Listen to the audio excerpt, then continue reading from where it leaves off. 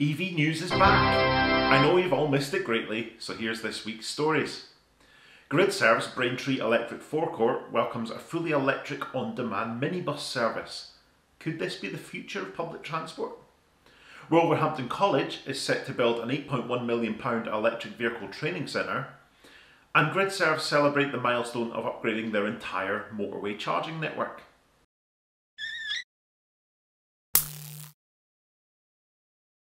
Yes, yes, I know, it has been a very long time, far too long in fact, since I've released any videos, let alone the EV news feature which I know you all know and love so much. Things have been all over the place with the house move that I planned, a pretty major change of plan along the way as these things tend to happen, but as you can see I'm in new surroundings and therefore it's gone partially to plan. You'll probably see a few changes as I get this all the kit set up here, I'm still kind of getting used to how, how I'm set up for filming, but you can agree you'll no longer be able to accuse me of filming in my downstairs toilet, which is a definite improvement.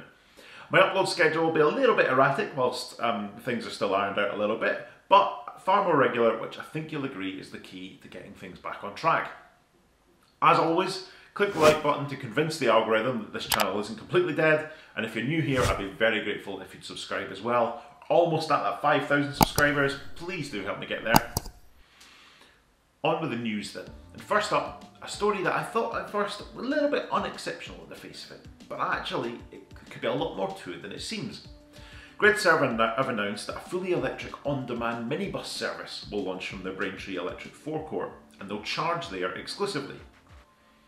Called DigiGo, the electric shuttle bus service is a, said to be a huge win for residents that don't have access to a private vehicle have limited access to public transport or have yet to experience the benefits of zero emissions motoring. Not only are these new buses clean, quiet and more comfortable than the equivalent petrol or diesel vehicles, the shuttle service is truly flexible. So how it works is passengers can download the Travel Essex app on their mobile phones uh, and that gives them real-time location information about where the buses are and allows them to specify specific drop-off and collection points within the region. The service trial will run every day from 7am to 10pm, operating in and around Broomfield Hospital, Chelmer Valley Park and Ride, Great Notley Country Park, the Skyline Business Centre, Braintree Community Hospital and Braintree Rail and Bus Stations. Now, alright, it's, like, it's a little bit boring, isn't it? It's just a, it's a minibus service with, with an app with a little bit of difference, but hang on. It sounds like a great thing for residents in those areas, and a, but an even better thing for GridServe because this creates guaranteed custom for the Braintree Electric forecourt. These buses will definitely need to charge there if this thing's going to be running all day, every day. Um, but I think it's a little bit more interesting that if you think about it, right? So traditionally, if a council wanted to provide a service like this and they were going to use electric buses, they'd more than likely need to install a load of dedicated charging infrastructure. If you look at those electric buses in Dundee, if you remember the dedicated rapid chargers that occasionally foolish car drivers might use without thinking about. Covered that in a previous news episode. Well this way though, GridServe take care of all that. There's no doubt that the electric forecourts, at least currently, have the spare capacity for this type of thing. They're not, well there's only one at the moment, right? There's more, open to, more due to open soon. Uh, but they're not absolutely rammed every day. And this type of use could definitely help with some of that, those use some of that capacity, but it could also help justify the existence of electric forecourts in certain areas. And if they're going to make serious money, they'll need to be used for a little bit more than you know people to visit and take photos like we all do at, the Braintree Electric Forecourt, and for holding press launches for new cars. So this way, GridServe get the custom they need, the constant, predictable custom, and the councils are spared having to pump vast sums of money into infrastructure that would be dedicated for these needs anyway, and that they'll struggle to maintain. Everybody's a winner, aren't they? I'd love to know what you think of this in the comments from that point of view. I'm definitely of the opinion that it's far better for councils to use facilities like these electric forecourts than to try and roll their own. I mean, just look at the terrible old charge your car infrastructure that litters council car parks all over the country. It's desperately awaiting councils to actually step up and take charge of the maintenance, and nothing's happening as a result. Next up, Education, education, education. It's often said, and I'm sure I've covered news stories about it in the past, that we are facing a huge skill shortage when it comes to EV trained mechanics, especially if we see the levels of adoption that we expect as we move towards 2030 and beyond. It's a good job then that it's just been announced that Wolverhampton College is set to build an £8.1 million electric vehicle training centre. Plans have been approved for the Technical Centre at the City of Wolverhampton College's Bilston campus. Once finished, the two-storey Advanced Engineering and Electric Vehicles Centre of Excellence will create hundreds of jobs and teach thousands of students. Construction work is expected to begin this summer as part of the City Council's City Learning Quarter Master Plan. Deputy Leader of the Authority, Stephen Simkins, said this is another important step towards our vision.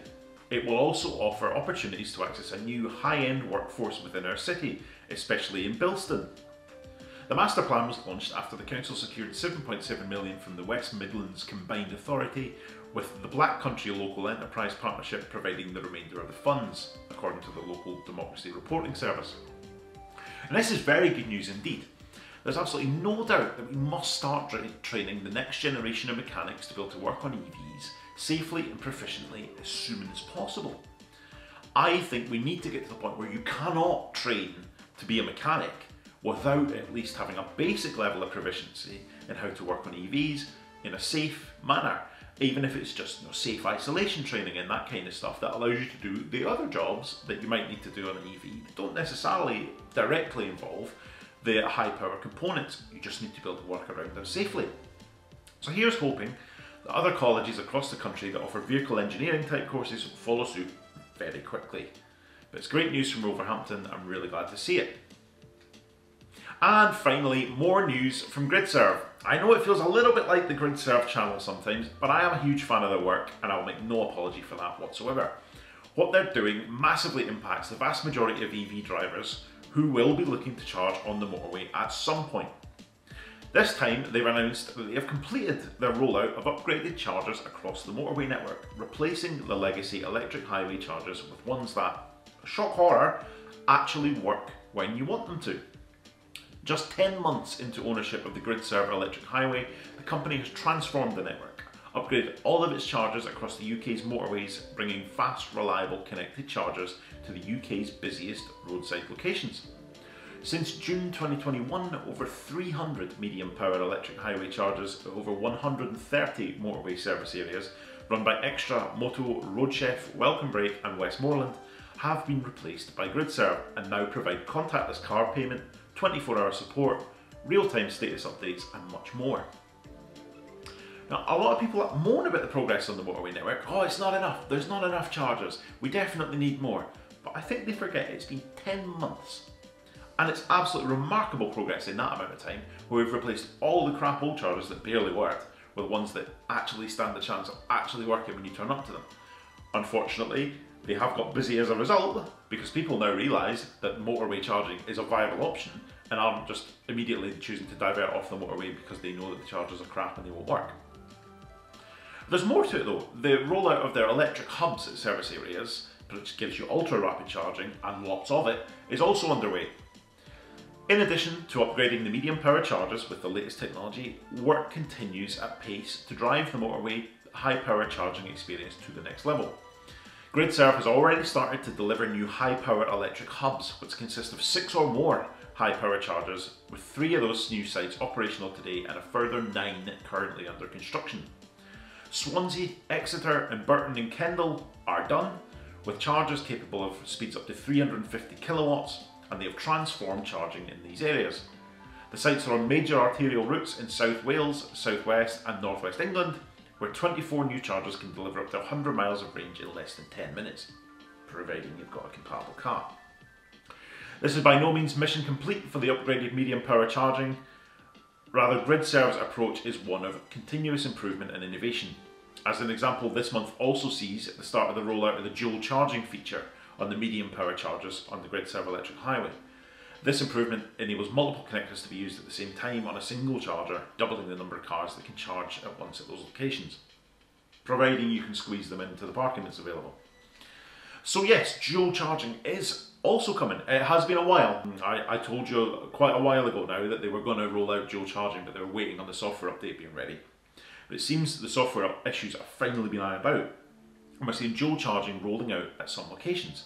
I've seen the odd photo being shared in some Facebook groups where they'll actually upgrade the signage on the chargers and they'll put a sign on saying this can charge two char- cars at a time, which hopefully will clear up some of the confusion around dual charging where people, it, it will, it won't it. If it's got a sign on it saying it will, it will. If it doesn't, it probably won't. The electric forecourt rollout is also progressing, with their, new, their second site in Norwich due to open imminently. I'll have some more news about that very shortly, so do watch this space. But that's all we've got time for this time. Thank you very much for watching. Please let me know what you think about all of these stories in the comments. Click like if you made it this far, and do subscribe if you haven't already. Join me next time for another EV news episode next week.